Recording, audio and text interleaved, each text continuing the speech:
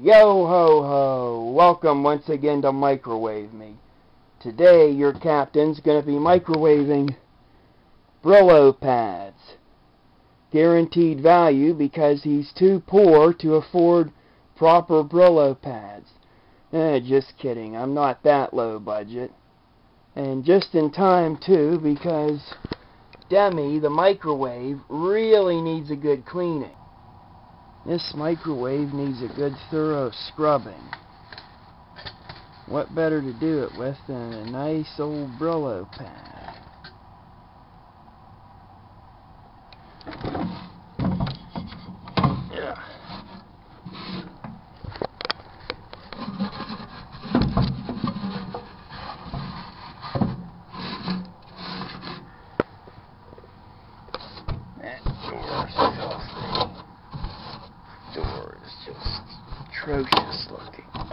Man. I think the wave guard or whatever that is melted. Whoa, this microwave's seen better days.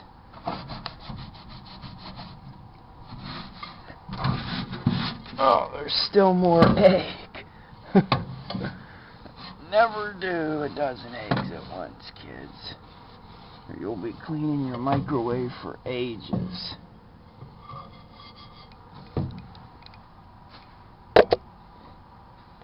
Okay.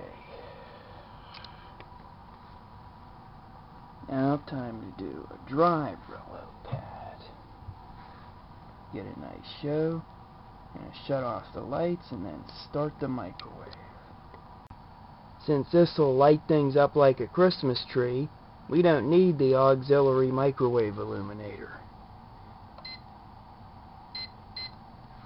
Two minutes should do the trick. And start.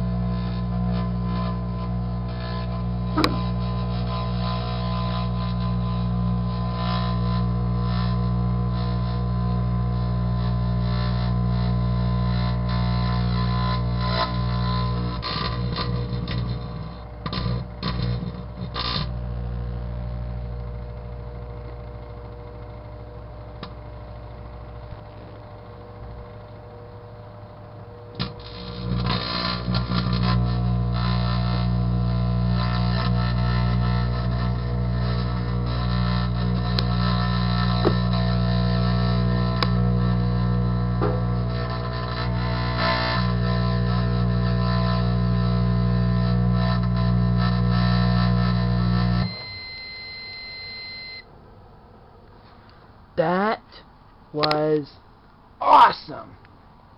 Okay, that I am definitely going to say has been my favorite experiment so far. You know what? I'm just going to have to give her another minute.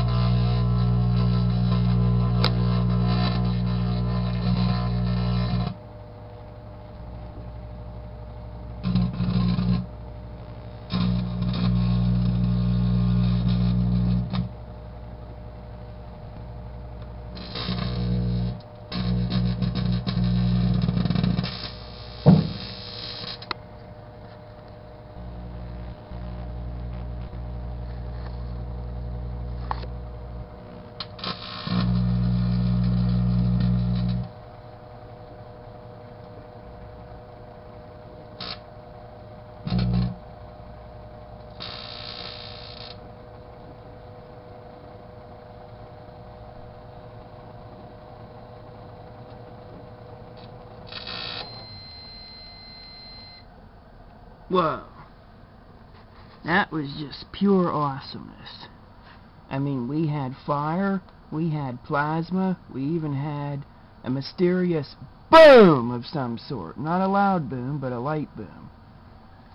So I have no idea what caused that. Right now, let's examine the post-product. And what do I see?